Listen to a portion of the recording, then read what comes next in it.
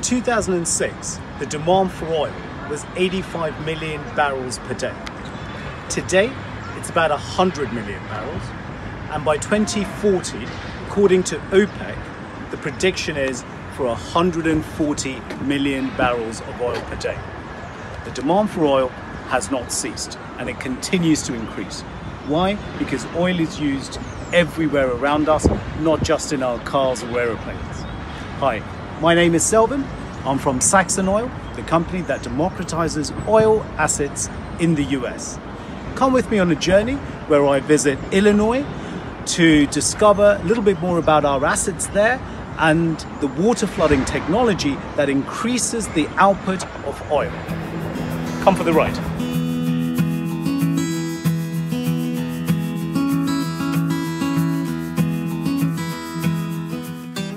You see behind me is the drilling rig that actually digs a hole deep down.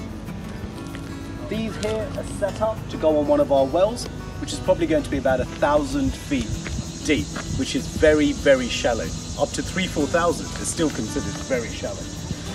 So this thing hammers down these long pipes that you see, 1,000 feet, 2,000 feet, 3,000 feet down until it hits pay dirt, actual oil. Then it gushes out of there and then it's stored and then taken next to the refinery. It's beautiful. Hi, I'm here with Larry Neely, the president of Maverick Energy, here in Crawford County, four miles away from Robinson. Four or five miles. Four or five miles away west from Robinson. West of Robinson, Illinois. Right. So this is um, land uh, uh, where you own a lease, Yes. where um, your family, so your sons, uh, and you own the oil assets here. Yes, Uh, behind us, we've got where oil actually gets stored and taken away and all tank that. ba- we call it tank battery. yes. Right. But in terms of you know the actual land itself, so there are um, pipes running underneath us. There are there's obviously a lot of oil. Uh, you're pumping water down. Oil is being pushed up and being collected by the six odd uh, oil uh, pumps that you've got Pumping units, yes. on, on site here. Right. T- tell us a little bit about about the sort of history of, of this area, uh, because as I understand it, oil's been here from from 1900s. Is that right? Yeah, right. It was actually discovered in Robinson, Crawford County area, actually Crawford County, Right. by a company by the name of Benedum Trees. And it was in 1906 to 1907 is when it was the first initial wells were drilled here. Right. And they drilled actually north of here about 10 miles on a lease actually that I still own. It's called the Robert L. Athey lease, and they had one of the wells came in like 25 barrels a day, which was just the first discovery well. And so they went ahead and started leasing up ground, ground from this in this whole area. Laced up several thousand acres, and then actually uh, they went ahead and started drilling and developing it. And this again went on into the to the, about the mid 20s, and then they sold it to at that time, which was Standard Oil Company. J.D. Yeah, Rockefeller's. which is uh, yeah. Rockefellers, right? Became the richest right. man in the world at that time. Right, and Okay. the, but the prop the, the two fellows that found this was a fellow by the name of uh, Mike Benedum and Joe Trees, and so they went ahead and sold it to Standard, but that which is Rockefellers, but which is now was Marathon Oil Company was one of the um, Rockefellers satellite companies that they had. Is that right? Yeah, it was actually called the Ohio Oil Company when Right. they bought it. And then Ohio, the Ohio Oil Company built a refinery here where they refine oil. And, and back in the 1920s, they built that refinery. And then, as a matter of fact, they're still refining oil here in our community today. And, this, and now it's basically state-of-the-art refinery. And we refine about 250,000 barrels a day Wow. here in this refinery. So. Excellent. And and what's being grown overground? What, what, what is Well, this this is corn. It This is corn. yeah, this is corn. So you can And make then- oil from corn from above, Yeah, they can. They and there's oil underneath that you're getting out. right. Yeah, Right. we we we uh, we we work with the farmers real closely, and and uh, so they they plant right next to our wells, and and so the, it's all environmentally safe, and and uh, and it's it's a good utilization of the ground as well. Brilliant. So, Absolutely. yeah. That's great. Thank you. So- So this well was drilled about uh, five or six years ago. This is the Sack Rider number five well, and the oil and water that's produced from that particular well goes to in a pipeline, comes down through here to the ground, right up through the through the firewall, up into the separator, which is the black tall separator. That's we call it a separator or a gun barrel, we call it. And the oil and water goes into this facility and just is separated by gravity. Oil goes to the top, Right. water goes to the bottom. Oil goes out to the oil tanks here, Right. and then the water goes to the water tanks here, two water tanks. Then what we do is we take the water that we're getting in these wells, it goes into the suction of an injection pump in that building right behind us, and we can walk this way and take a look at it, and then it's re-injected back down an injection pump. So this is the this is just your little this is a little duplex injection pump. The water comes from our water tanks into the suction here, and then it's pressurized to about a thousand psi, Right. and then goes through high pressure lines to the injection well, goes into the tubing and down through the into the formation, and then what it does is it pushes the oil and the water out to the other wells. And main, what it does is it moves the the material in the reservoir, it pushes it out to the well. It's a pressure and volume scenario.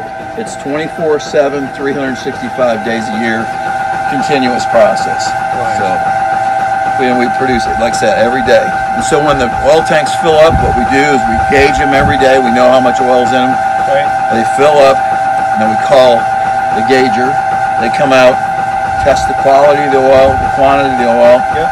and then what they do is they put a ring around the tank valve. It's a tab, Right. a seal, we, they call it. And then what they do is they call the trucking company. They come out here with a, a semi, and they suck the oil out. It goes into the semi truck, Right. and then is then deposited into another tank battery, which in turn goes to the refinery. Right. And it may go to this refinery here in Robinson, or it may go to any one refinery all throughout the country. Right. So it's once it goes, as the oil goes into the main pipeline. Depending upon whatever the buyer does with it at that point, it's beyond our. But it's sold and it's done on a 30-day basis. Every 30 days, we get paid for the revenue that we, the oil that we've produced. Which is. Yeah. So how many nodding donkeys do you have on site here? Uh, yeah, they're pump, called pumping They're units. They pumps, call yeah. them, you call them donkeys, but yeah, they're, they're pumping units. And this, there's, um, let's see, six, six on this. Basically, Six. a five, five plus feeding one. feeding these oil tanks. Right. hmm And approximately how how how many barrels are we getting here? Do you think? Roughly around 20 to 30 barrels a day. A day? Yeah. hmm Right. Right. Okay. Yeah, and it will vary depending upon where over time how much water we put in the reservoir to go ahead and push the, the oil out. Yes, You know, yes. so Well, the good thing there's a lot of recycling off the water as well. Right, So so it's right. environmentally safe, Friendly yeah, and- and yes, safe, yeah, right? mhm. yeah. And actually, this water here, it is a little salt water, but it's not real heavy salt water. You could actually put it on the ground and it doesn't even kill the weeds. Right, So it's right, not right. like it's uh, heavily contaminated. Okay. You know. You know, so it's not like it's hazardous waste or anything like that. So it's really good. Environmentally, it's really good, and, Yeah. and so on. And it's all natural. so. Absolutely. Brilliant. Thank you.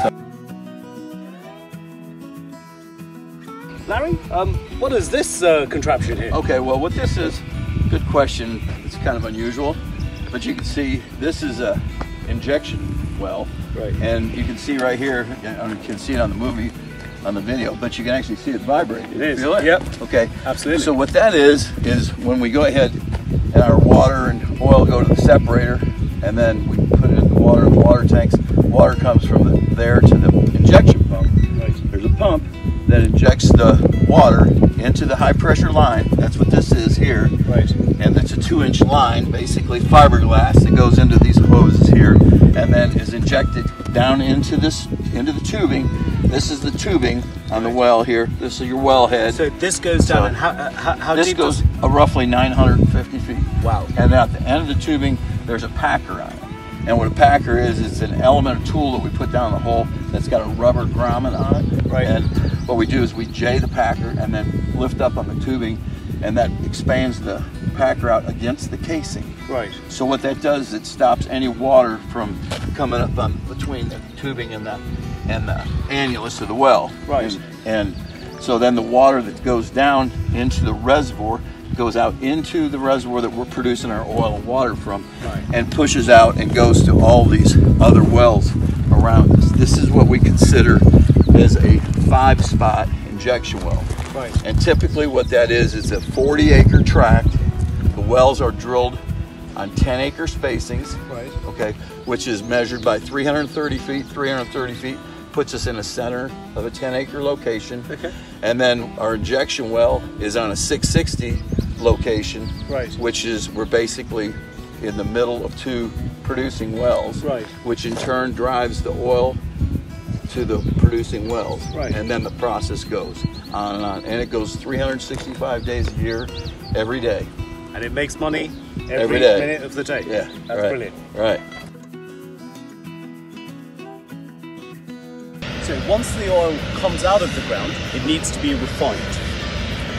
Behind me is Marathon Oil's refinery. It's the largest refinery in Illinois, right here in uh, Crawford County, in Robinson. And this is where the crude stuff that we saw earlier gets refined into things that could be used.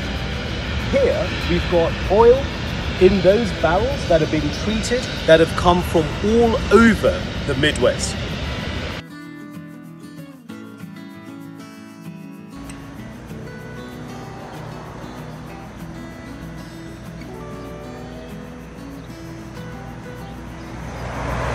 And this is where it ends up. In our cars to help us move around. But not just in our cars, because that's not just where oil ends up. Everything in this car, pretty much, has either been touched by petrochemicals, is a derivative of petrochemicals, or is run by petrochemicals, including my sunglasses.